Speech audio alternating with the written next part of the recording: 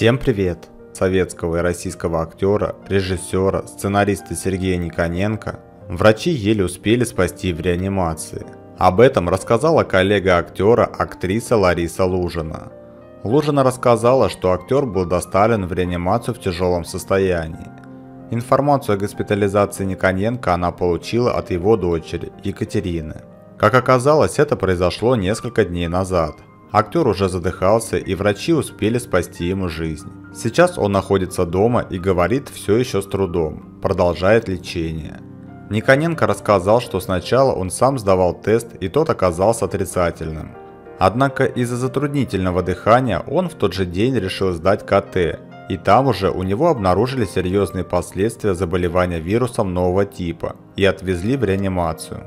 Никоненко рассказал, что день промедления мог стоить ему жизни. Сергея Никоненко зрители знают по фильмам «Завтра была война», «Крымский мост», «Сделано с любовью» и сериалам «Каменская» и «Герой нашего времени». Будущий яркий актер Сергей Никоненко появился на свет 16 апреля 1941 года в Москве. Семья народного артиста была далека от творческой профессии.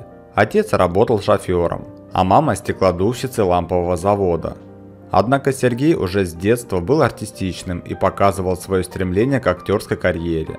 В школьные годы он занимался музыкой по классу аккордеона, принимал активное участие в различных школьных конкурсах певцов и чтецов.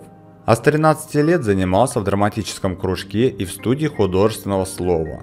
После школы Никоненко без доли сомнения решил связать свою жизнь с актерством и поступил в ВГИК на актерский факультет, а через несколько лет выучился там же на режиссера – за свою карьеру Сергей Никоненко сыграл более чем в 200 фильмах и сериалах.